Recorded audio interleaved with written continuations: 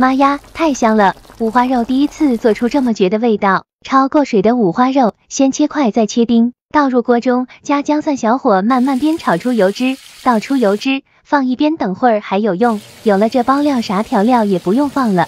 再来一罐啤酒，半碗水，倒入砂锅，扣盖。我也学着人家淋一圈白酒，开大火焖煮。这时候可以用盛出的油脂炸一个虎皮鹌鹑蛋，倒入砂锅，继续小火焖煮四十分钟，红烧五花肉就做好了，软糯 Q 弹，这味道能香到你跳起来。废话不多说，我先开吃了。